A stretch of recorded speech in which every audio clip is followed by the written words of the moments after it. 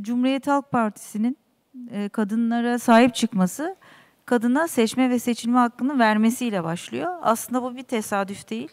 Bu bir sürecin sonucu. Yani bunca senelik bir sürecin sonucu. E, Cumhuriyet Halk Partisi her zaman kadını ön plana çıkaran bir parti.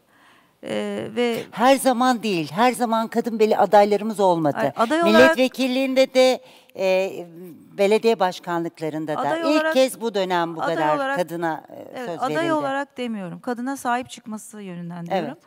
Ee, normal e, bir günlük yaşam yaşamda da kadına sahip çıkması veya bir seçme seçilme hakkını vermesi veya bir belediye başkanında çok kadın aday olması bu bir sürecin değişik e, zamanlamalarıyla ilgili bir şey. Ama e, buradaki arkadaşlarımızın tümü büyük bir savaş verdi. Hiç kimse e, yani iki tane arkadaşımız e, bir önceki dönem e, belediye başkanlarımız onlar zaten çok tecrübeli. E, tecrübelerine tecrübe kattılar ama bizler de hepimiz büyük bir savaş verdik. E, Savaş derken neyi kastediyorsunuz? e, şöyle e, ortada hükümet e, bütün güçleriyle diğer adayları destekliyor ve bizler de kendi kendimize e, bu onlara karşı bir savaş verdik yoksa başka bir, bir- onlar her türlü imkanlarını kullandılar. Bir tek e, bizim bölgemizin adayı karşımızda değildi ki. evet. Diğer faktörler vardı. Bu arada Karşıyaka Belediye Başkanı olarak İzmir'deki e, ilçemizdeki.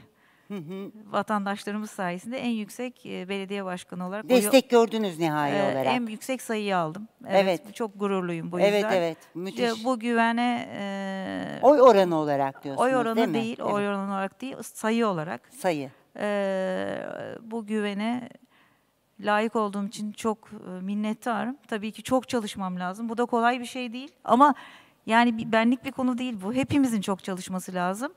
E, Cumhuriyet Halk Partisi büyük bir destek aldı şimdi ama bunu çok iyi yönetmemiz lazım ki e, diğer seçimlerde başarılı olmak için ve Türkiye'de birçok şeyin değiştiğini anlatabilmemiz için. Bu bir fırsattır bizim için aslında. Yolumuz açık olsun hepimizin. Kolay bir çalışma olmayacak.